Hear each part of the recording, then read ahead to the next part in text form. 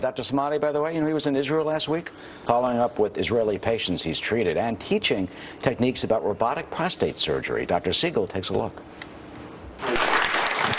Our own Dr. David Samadi, chief of urology at Lenox Hill Hospital, was back in Israel last week following up with Israeli patients he has treated. You can see the pubic bone over here. A pioneer in robotic prostate surgery, he has traveled to Israel in the past to teach these techniques to other doctors. We got the prostate cancer at you know, at the last possible second, not minute, before it left the, the cancer left the prostate and went into the whole body. It goes beyond the mechanical part of the robot.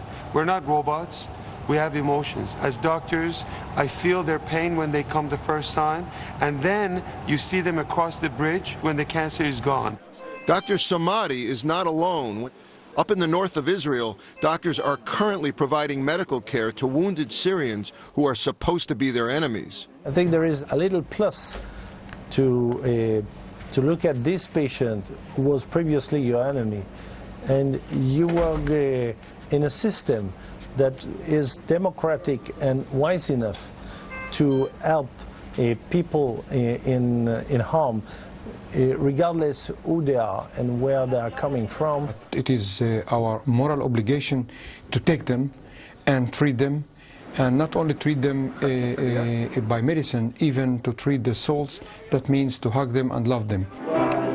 Back down in Tel Aviv, Dr. Samadi connected with the powerful feelings of his colleagues to the north. In Hebrew, when you save one person's life, you've saved the whole village. Oh, wow, that's absolutely amazing. Wonderful work. Wow. Well, this was a very special trip because three years ago when we went in and brought robotic surgery to Israel, it was really a great collaboration with all the scientists and surgeons. This time when I went in, and over the last three, four years, we have had over 400 Israeli patients that have come here. We've taken care of them. I have to tell you, it was extremely emotional. Um, a lot of tears, a lot of joys and hugs. People that are cured from prostate cancer. The example that we saw, it was a patient who had a Gleason 10, very uh, difficult difficult cancer to deal with. It's one of the highest risk prostate cancer that this patient had, and now he's cured.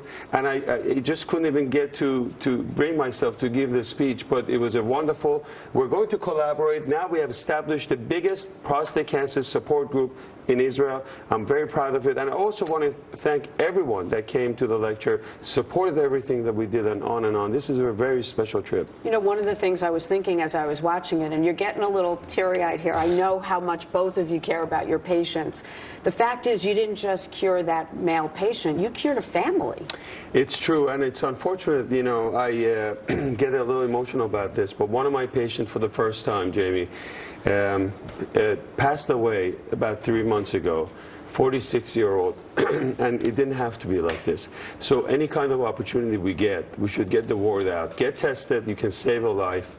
And um, and we'll continue the battle. And I, Marc had a lot to do with this. Mm-hmm. So I, I thank told, also Fox News uh, for, for doing this. It, you saved a lot of lives. What should people do? I, uh, you can see the effect that this has uh, on Dr. Samadi and, and, doctors and patients. I think it's a great, great segment for our viewers, and I'll tell you why. David, I've been in his operating room, and he's focused on the surgery. This is the other side. When you meet the patient whose life is saved because that prostate is removed, and hundreds came to see him and to hear him speak, and they were just grateful and that's when he gets to share the emotions. And doctoring is about emotions and it's about emotional healing and that's why we put it together with the doctors from the north who are saying these syrians are injured with high impact injuries. Their legs are blown off they have shrapnel wounds they have burns. They're, we're going to take care of them no matter who they are whether they're our enemy or not because we care because we love what we're doing and that's the high emotion that dr samadi brings to surgery and to let, healing. let me just get the word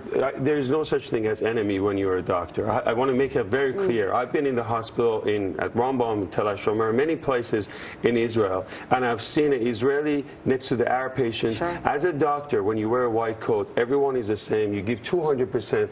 These are very, very powerful. These testimonials is the reason why we wake up every morning and go to work. And it's truly the Hippocratic Oath that Thank you both you. took. Thank you so much.